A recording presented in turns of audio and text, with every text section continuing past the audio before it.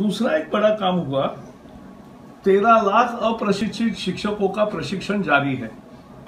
TV पर भी है और कंप्यूटर भी भी है। ऑनलाइन भी है, ऑफलाइन भी है।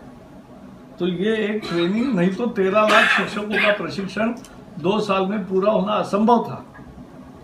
लेकिन एक हज़ार अच्छे lecture material tutorial discussion forum सब है उसमें। तो ये अभी चल रहा है।